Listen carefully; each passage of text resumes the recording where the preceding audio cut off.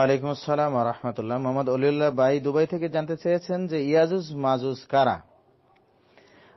প্রকৃতপক্ষে এই বিষয়গুলি আল্লাহ রাবুল আলমিনে ভালো জানেন। তবে রাসুল সাল্লাহ আলাইস্লামের একাধিক সৈয়াদিস দ্বারা প্রমাণিত যে ইয়াজুজ মাজুজ পৃথক কোন সম্প্রদায় নয়, বরং তারা আদম আলাইসালামের বংশধর, আদমের সন্তান, যা সই বুখারির চার হাজার সাতশো একচল্লিশ নম্বর হাদিস এবং সই মুসলিমের দুই শত বাইশ নম্বর হাদিস মিসকাতুল মাসাবি পাঁচ হাজার পাঁচশো একচল্লিশ নম্বর হাদিসে পাবেন। মানুষের ইমান পরীক্ষা করার জন্য এদের সৃষ্টি করা হয়েছে। তারা পৃথিবীতে কখনো কখন ও কীভাবে আগমন করেছে, এ বিষয়ে বিদ্যানদের মাঝে মত পার্থক্য পরিলক্ষিত হয়। তবে তারা অবশ্যই আদম সন্তান ছিল এবং হজরত নুহা আলাইসাল্লামের পরে পৃথিবীতে তাদের আগমন ঘটেছিল, যা ফথুল বাড়ির তেরোতম খণ্ডের একশো একত্রিশ পৃষ্ঠায় বিস্তারিত আলোচনা এসেছে।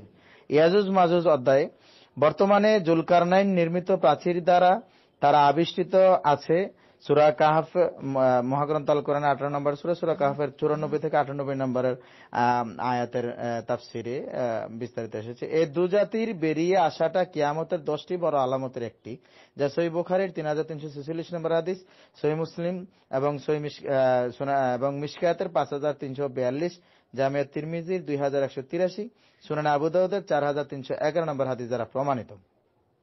কিয়ামতের প্রাককালে তাদেরকে তাদের বংশধররা আল্লাহর হুকুমে প্রাচীর ব্যঙ্গে বেরিয়ে আসবে, যা রাসুল সাল্লাহ সাল্লামের একাধিক হাদিস দ্বারা প্রমাণিত।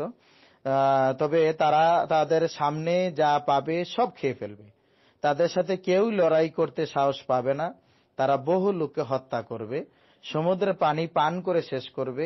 একসময় বাইতুল মোকাদ্দাসে এক পাহাড়ে ওঠে, তারা হুঙ্কার দিয়ে বলবে, দুনিয়াতে যারা ছিল সব শেষ করেছি, এখন আসমানে যারা আছে তাদের শেষ করব। এই বলে তারা আকাশে তীর ছুটতে থাকবে। আল্লাহ তালা তাদের তীর, রক্ত মাখিয়ে ফেরত পাঠাবেন। এক সময় ঈসা আলাইসালাম তাদের জন্য বদোয়া করবেন।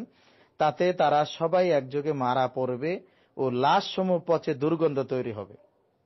আল্লাহ একবার আল্লাহ তখন শুকুন পাঠাবেন তারা লাশগুলিকে নাহবাল নামক স্থানে নিক্ষেপ করবে।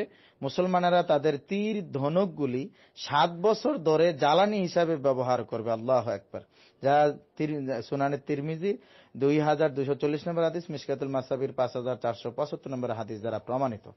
সুতরাং ইয়াজুজ মাজুজের পরিপূর্ণ ব্যাখ্যা এবং উৎপত্তি এবং তারা সংখ্যায় কত, এগুলি আল্লাহ রাবুল আলমিনে ভালো জানেন। তবে রাসুল সাল্লাহ সাল্লামের একাধিক সৈয়াদিস দ্বারা আমরা যে বর্ণনা পেয়েছি, আমরা সেটার উপর ইমান রাখব এবং সেই অবস্থায় থাকবে।